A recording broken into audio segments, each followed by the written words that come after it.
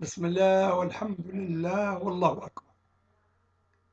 الآن بفضل الله تعالى جل جلاله وعم نواله سنقف عند آخر الآيات في سورة قاف اللي هي في نزولها مكية.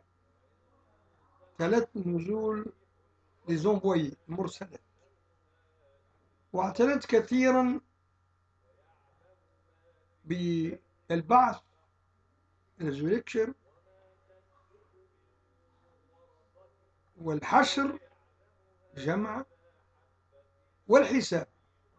وكل واحد عنده مصير القلة مصيرها جنات النعيم كما هنا كانوا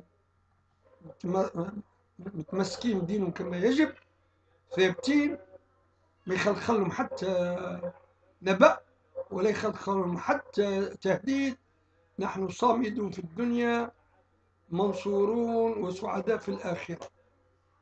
ومن كان خلافنا فمصيره معروف. لا فائدة التكرار وإطالة الحديث عن مشواركم الذي ربما يكون لا نهاية له. أنتم مشواركم الدنيا ذهبتم طيباتكم حياة الدنيا. أما بعد يعني حمكم أن اخترتوا الدنيا وكذبتوا الرحمن الذي خلق الدنيا والآخرة واللي أصر كنتم مصرين على لا بعث.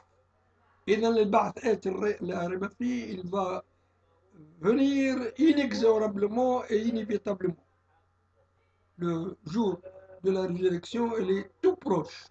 والسلام على أهل الإسلام